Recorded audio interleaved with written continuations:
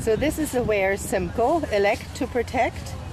And it's a really good organization and uh, we have memberships and uh, we meet. I think the next meeting is when?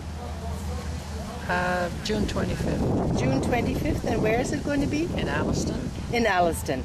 So there's a website that people can attend. AwareSimcoe.com. There we go, and uh, off we go. Let's meet. Yes, that would be nice. save That's our nice water. light. What did you say, dear? What did you say? He said, please. Help to save our water, you said. there we go. That's right. I heard that too, Marianne. oh, me too. Help to save the water.